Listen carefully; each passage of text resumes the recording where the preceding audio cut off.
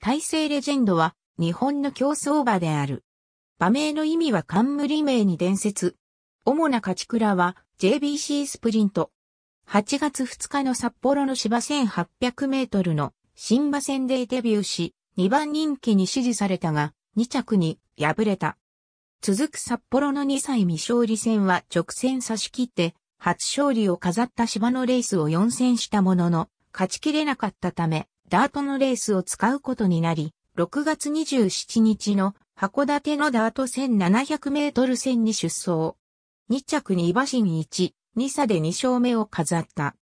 しかしその後は、ダートの中距離戦に出走も未勝利に終わる。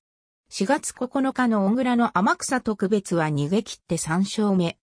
続く東京の絆賞は2着に三馬審査の圧勝で連勝を飾り、オープン入りを果たす。この後、準オープンに高級し、休養明けとなった東京のテレビ、静岡賞は逃げ切って4勝目を飾った。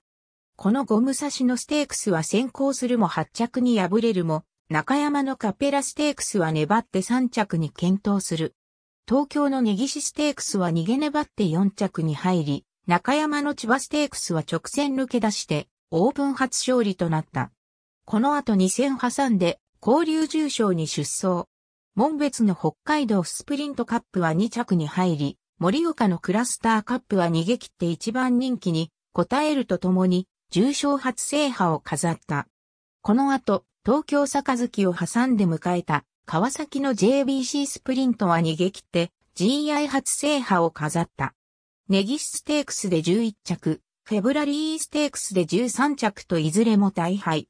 初の海外遠征となったドバイゴールデンシャヒーンでも12着。帰国後休みを挟んで、クラスターカップ、オーバルスプリントで連続2着の後、東京杯でテスタマッタに3馬身半差をつけて優勝した。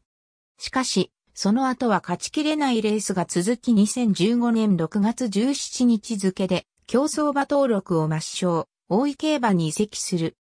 移籍後は一生もすることなく2015年10月16日付で地方競馬の登録を抹消。2016年より優春スタリオンステーションで種ボバ入りする。引退後は種ボバとなり優春スタリオンステーションでつなぎをされる。2019年に初年度3区がデビュー。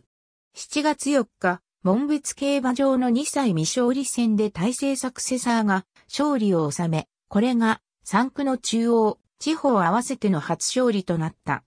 大勢レジェンド号が競走馬登録抹消日本中央競馬会2015年7月1日閲覧、大勢レジェンドが優春スタディオンステーションにスタッドイン競走馬のふるさと案内所2016年3月20日閲覧 netkeiba.com